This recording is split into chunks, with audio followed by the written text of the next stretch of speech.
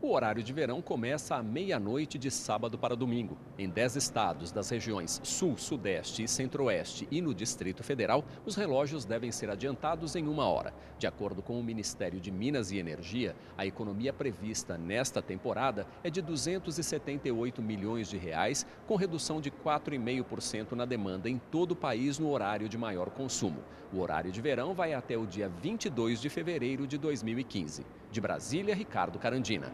Thank you.